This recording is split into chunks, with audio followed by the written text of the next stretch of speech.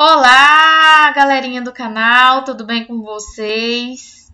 Eu sou a professora Maiara e hoje nós estamos aqui para mais uma atividade, meus queridos alunos do agrupamento 5. Vamos recordar então, antes de começar a nossa atividade, qual é o nome da nossa escola? Escola Municipal Professora Messias Bits Leão. Qual é o nome da nossa cidade, hein, crianças? Quem sabe? Isso mesmo, Trindade. Trindade fica em qual estado? Quem sabe? No estado de Goiás. Qual é a data de hoje? Hoje é dia 30 de março de 2021 terça-feira. E ontem foi que dia? Segunda-feira. E amanhã será que dia? Quarta-feira, tá? Primeira coisa que vocês têm que fazer na hora da atividade. Se você, se você já está sentadinho, sentadinha, já pegou o seu caderno, você vai pedir a mamãe, ou titio, ou papai, ou vovó para colocar o vídeo da historinha. Hoje é dia de historinha. E o nome da historinha é O Coelho Joaquim. Antes de começar a atividade, você vai ouvir a história. Tem o vídeo da história aqui no canal.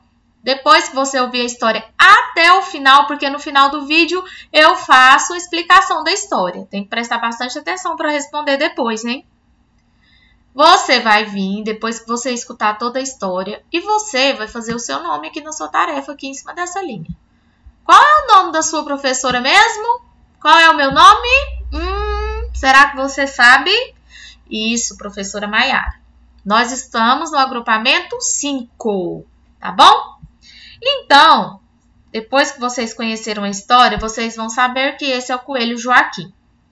Então, número 1. Um, qual era a cor do coelho Joaquim? Eu não vou falar a resposta. Vocês vão pensar. Ele era rosa? Ele era branquinho ou ele era marrom?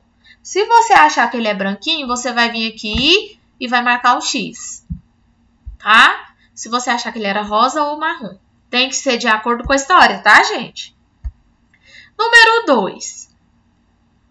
O Coelho Joaquim trabalha como professor? Sim ou não? Ele era professor? Entregador de ovos? E é sim. Então você vai marcar um X. Só recebia ovos as crianças que não faziam as tarefas ou as crianças que se comportavam bem na escola? E aí?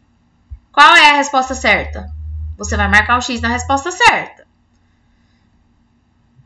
Número 4. Joaquim procura as crianças comportadas com uma moto ou com uma bicicleta? Quem lembra? Você vai marcar um X na resposta certa. Próxima parte da tarefa. O que o coelho Joaquim queria descobrir?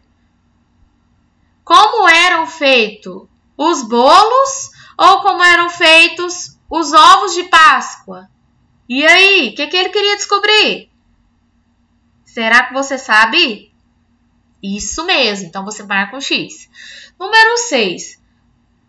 Quando ele chegou na cidade do chocolate, ele viu pés de cacau ou pés de laranja? O que, que será que ele viu, crianças? Vocês marcam um X aqui. Número 7. Os ovos de chocolate eram feitos onde? Na fábrica ou na casa do coelho? E agora? Quem prestou atenção na história vai saber responder. Número 8. Joaquim voltou para casa e foi entregar os ovos de Páscoa ou entregar as balas e os pirulitos? Qual dos dois? Vocês vão marcar. Número 9. Desenhe a parte da história que você mais gostou.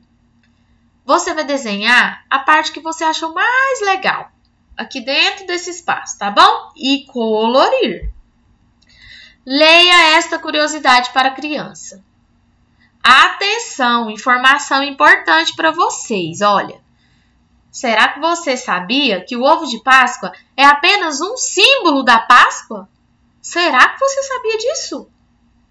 Olha só, costumava-se pintar os ovos de galinha bem coloridos para comemorar a Páscoa, que é uma data festiva da ressurreição de Jesus Cristo, sendo o ovo um símbolo de nascimento. E depois resolveram fazer ovos de chocolate para associar a data da Páscoa.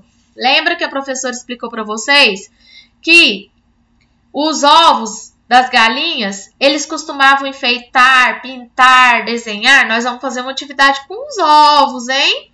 Amanhã, fiquem atentos com esses ovos de galinha mesmo. E aí, eles enfeitavam para comemorar a Páscoa, porque dentro daquele ovo não ia nascer um pintinho, que é nascimento. Então, eles acreditavam que era um símbolo de nascimento e por isso associava com a época da Páscoa, em comemoração à ressurreição de Jesus, tá?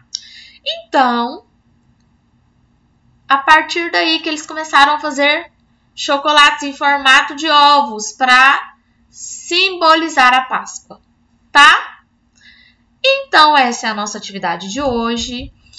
A professora Maiara vai pedir para vocês gravarem um vídeo falando qual parte da história que vocês mais gostaram e me enviar, tá bom? Eu espero que vocês tenham gostado dessa historinha e até a nossa próxima aulinha.